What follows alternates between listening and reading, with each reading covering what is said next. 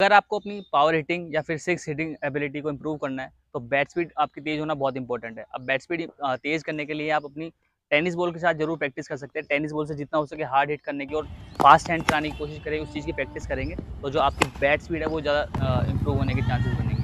तो ज़रूर tennis ball के साथ आप नोकिंग ट्राई कर सकते हैं हिट करने के लिए। इस ड्रिल को करते हुए सबसे इंपॉर्टेंट चीज़ जो है कि आपके हैंड्स फास्ट चलने चाहिए, जिससे कि आपकी बैट स्पीड बढ़े। तो ज़रूर इस टिप को ट्राई करें। Thank you so much